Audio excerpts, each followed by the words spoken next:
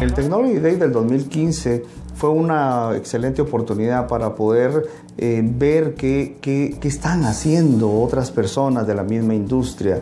Eh, difícilmente en un evento de otro tipo uno puede ver reunidas situaciones tan diversas eh, en las cuales uno puede aprender, ver la tendencia. Es un asimuto en el cual uno puede ir viendo si uno va por buen camino, si hay algo que enderezar, enriquecerse de lo que otras personas han hecho en la industria de uno.